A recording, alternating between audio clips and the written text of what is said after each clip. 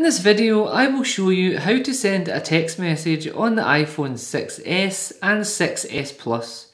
All you have to do is access the messages icon which you will find located on your home screen when you first set up your iPhone so simply go ahead and click on it.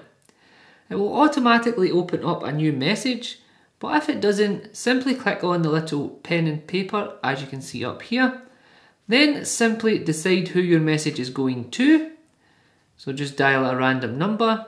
From there, click on the message field and enter whichever message you would like. All you have to do now is just click on the send button and you are good to go. And that is how you send a text message on the iPhone 6s and 6s Plus.